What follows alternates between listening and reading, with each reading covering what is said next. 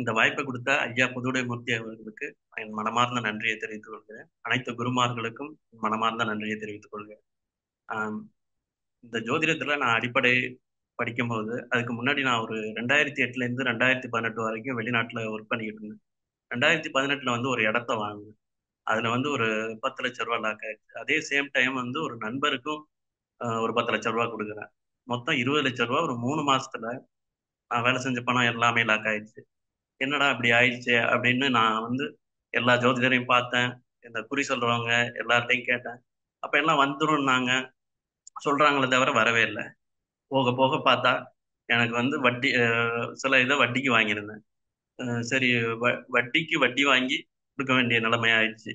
அந்த சரி வந்துடும் வந்துரும்னு வெயிட் பண்ணி இருபது லட்சம் நாற்பது லட்சம் ஆயிடுச்சு. என்னடா அது? வரவே இல்லையே அப்படின்னு ஒரு இதுக்கு மேல நானே வந்து ரொம்ப சூசைட் லெவலுக்கு போயிட்டேன். என்ன பண்றதுன்னு தெரியல அப்படின்னு வீட்டுல பிரச்சனை அப்படிங்கும்போது. அப்பதான் திருவண்ணாமலை போகும்போது ரமணர் ஆசிரமத்துக்கு போனேன். அங்க போயிட்டு ரொம்ப ஆத்மார்த்தமா பேசிக்கிட்டு இருந்தேன். அப்போதைக்கு சார் பார்க்கறதுக்கு ஒரு வாய்ப்பு கிடைச்சது. அந்த வாய்ப்பை வந்து அங்கிருந்து தான் கொடுத்தான்னு நான் நினைச்சுக்கிறேன். அப்புறம் சாரை பார்த்தோம். அவர் சார் சில விஷயங்கள் சொன்னாங்க. அதுக்கப்புறம் அந்த ஜோதிடத்தை நம்மளும் படிக்கணும். அவர் சொன்னது எல்லாமே அக்யூரேட்டாக இருந்தது. ஏன்னா வயதுக்கே நம்ம இப்ப என்னோட ராசி பாத்தீங்கன்னா மீன ராசி. அதை வச்சுதான் பலன் பார்த்துக்கிட்டு இருந்தோம். இப்ப சார் சொல்லும்போது தனுஷ் லக்கணம். இப்ப சார் சொல்லும்போது மேச லக்கணத்துக்கு பலன் சொல்லிக்கிட்டு இருந்தாங்க. அப்படிங்கும்போது இது சம்பந்தமா யூடியூப்ஸ்ல எல்லாரோட வீடியோ ஏஎல்பி முறையை பத்தி நிறைய படிக்கும்போது இதுல ஒரு ஆர்வம் வந்துச்சு. சரி நம்ம இதை கத்துக்கணும். ஆஹ் ஏன்னா இந்த இருபது லட்ச ரூபா வராது கொஞ்சம் காலம் ஆகும் அப்படின்னு தெரிஞ்சிருந்ததுன்னா நான் இன்னும் ஒரு இருபது லட்ச ரூபா வாங்கி மிகப்பெரிய கடன்ல மாட்டிக்க மாட்டேன். இந்த மாதிரி ஒரு வாய்ப்பு அமைஞ்சு போச்சு. சரி இத இது போல நான் மட்டும் இல்ல நிறைய பேர் இது மாதிரி இருக்காங்க எங்க ஊர்லயுமே. எதுவுமே தெரியாம அப்படிங்கும்போது இது சம்பந்தமா நம்ம படிக்கணும் அப்படின்ட்டு நான் இதை படிக்க ஆரம்பிச்சேன்.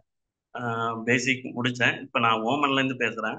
இங்க பாத்தீங்கன்னா அங்க நாலரை இங்க ரெண்டரை மணிக்கு எந்திரிக்கணும். சரின்னு ஒவ்வொரு நாளும் ரொம்ப கஷ்டப்பட்டு எந்திரிச்சு பண்ணிக்கிட்டு இருக்கோம். இப்போ அடிப்படை படிச்சு முடிச்சுட்டு இப்போ அட்வான்ஸ் வந்துட்டோம். இப்ப இந்த அளவுக்கு நமக்கு தெரியுது. இப்போ ஒரு ஒருத்தரோட நான் ஜாதகத்தை பார்த்தேன். அதுல பார்க்கும்போது ஒருத்தருக்கு ஆக்சிடென்ட் ஆயிருந்தது. ஆக்சிடென்ட் ஆகும்போது ஆ- இந்த விஷயம் வந்து மிக அக்யூரேட் அதுல தெரியுது. இப்போ இப்ப சார் வந்து பன்னெண்டு கிரகத்தையும் சாரி ஒன்பது கிரகத்தையும் பன்னெண்டு நம்பர்ஸ்ல அடைச்சிட்டாங்க அப்படின்னு தான் சொல்லலாம். சாஃப்ட்வேர் அந்த அளவுக்கு ஒரு த- துல்லியமா ஒரு ஜாதகத்தை எடுத்து பார்த்தோம்னா ஒரு நிமிஷத்துல இது நல்லா இருக்கா நல்லா இல்லையாங்கிற விஷயத்த நம்ம சொல்லிடலாம். அந்த அளவுக்கு ஒரு அக்யூரசி கொடுத்துருக்குறாங்க. இது ஒரு சாதாரண ஒரு ஆளால முடியாது. ஒரு மகானால மட்டும்தான் முடியுங்கிறது என்னோட கருத்து. இப்ப வந்து இந்த ஏஎல்பி ஜோதிடம் எங்க பார்த்தாலும் பாக்குறாங்க. எல்லாருக்கும் தெரியுது. ஜா- ஜோதிடம் பார்த்தா அக்யூரசி இருக்குன்னு சொல்லுவாங்க. ஆனால் என்னோட இது என்னன்னா நீங்க ஜாதகம் பார்த்தா அந்த சூழ்நிலை உங்களுக்கு தெரியும். அது மட்டும்தான். ஜாதகம் படிச்சா மட்டும்தான் உங்களுடைய வாழ்க்கையை நீங்களே மாத்திக்கலாம் அப்படிங்கிறது என்னோட கருத்து. ஏன்னா இது வரைக்கும் நான் நினைச்சிட்டு இருந்தேன் நம்ம எந்த தப்பும் பண்ணல அதுக்கான ஏன் தண்டையை அனுபவிக்கிறோம் அப்படிங்கிற கேள்வி எனக்குள்ளே இருந்துகிட்டு இருந்தது.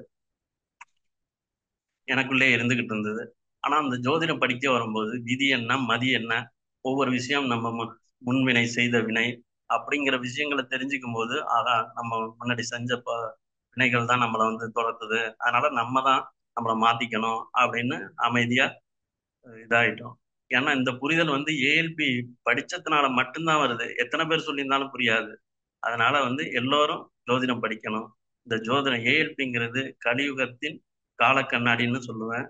இது அனைவரும் படிக்கணும்னு சொல்லி ஐயாவுக்கு மீண்டும் ஒரு நன்றியை சொல்லிக்கிறேன். அனைத்து குருமார்களுக்கும் நன்றி. என்னுடைய கோச் அவர்களுக்கும் நன்றி.